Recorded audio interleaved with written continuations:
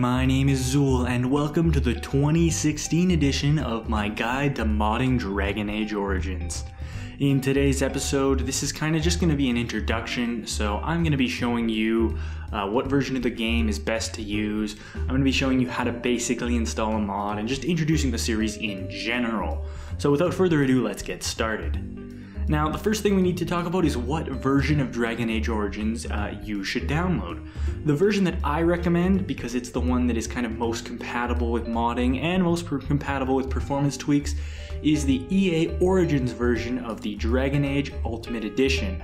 Now, if you, for example, own the Ultimate Edition on Steam, you're in luck because you can just transfer your license over to Origin. You don't have to rebuy the game at all, it just completely transfers everything over.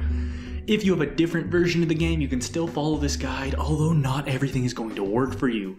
The good part about the Origins Edition is it contains all the DLC, and the EA version does not have an encrypted executable, which allows us to do some really cool tweaks later on.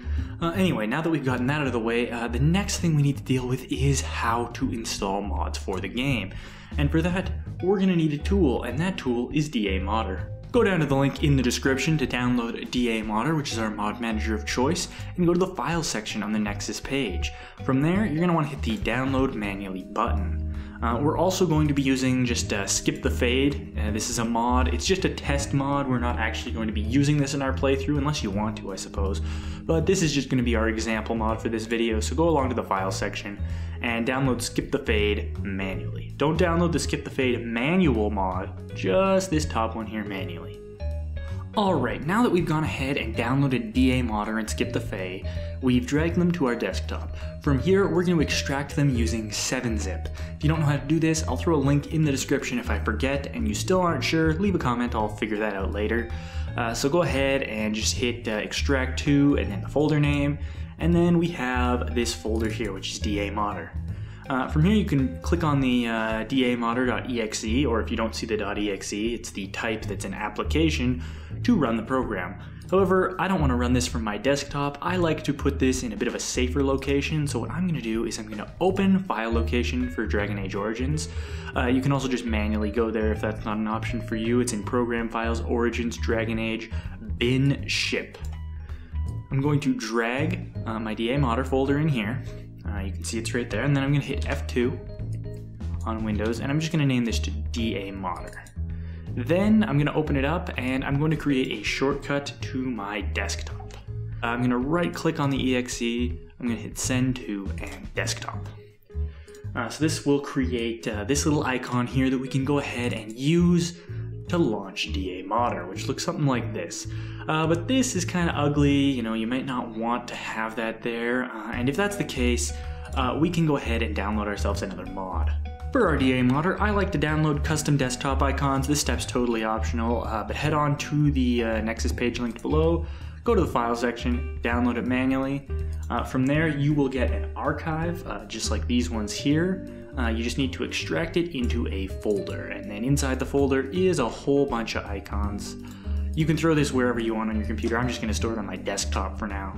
Uh, now that we have those icons downloaded, right click on your DA modder shortcut hit properties, change icon. It might tell you this, that there's no icons there, that would make sense. Hit browse. I'm going to select my desktop, and then I'm going to select alternate Dragon Age Origins and Awakening icons.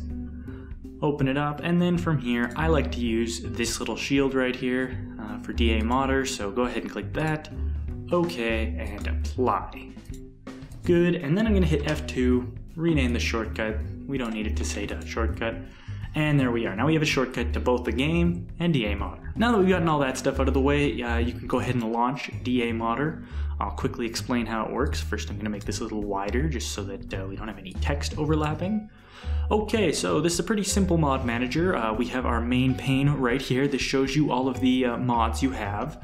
In this case, the official mods or the DLC, of which you will have all of them if you have the Ultimate Edition, are here. You can uncheck this and I usually leave that unchecked.